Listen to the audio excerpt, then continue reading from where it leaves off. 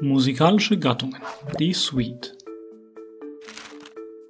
In jeder Epoche etablierten sich bestimmte Gattungen, also Formmodelle für Komposition. Dabei hat eine solche Gattung immer bestimmte Merkmale, die sie kennzeichnen. In diesem Video erkläre ich dir die Gattung der Suite. Als Suite bezeichnet man seit dem 16. Jahrhundert die zunächst lockere Folge von Musikstücken. Diese Praxis geht auf die mittelalterliche Tanzmusik zurück, in der es üblich war, einen geradtaktigen Schreittanz und einen ungeradtaktigen Springtanz als Kontrast nacheinander aufzuführen.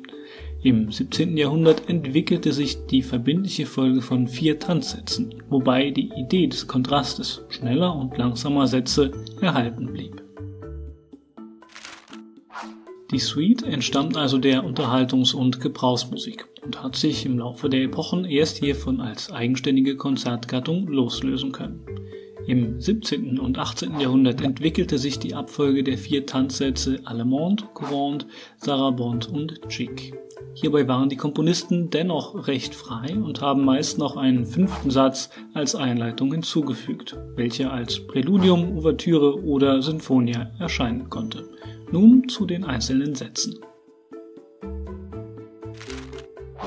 Die Allemande ist ein mäßig schneller Schreitanz in geradem Takt und hat ihren Ursprung in Deutschland.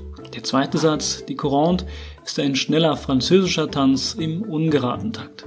Als dritter Satz folgt die spanische Sarabande, welche in einem langsamen Tempo im Dreivierteltakt steht und durch die typische Punktierung auf die zweite Zählzeit gekennzeichnet ist. Den Abschluss bildet die englisch-irische Jig, welche einen sehr schnellen Tanz im Dreiachtel- oder Sechsachteltakt darstellt.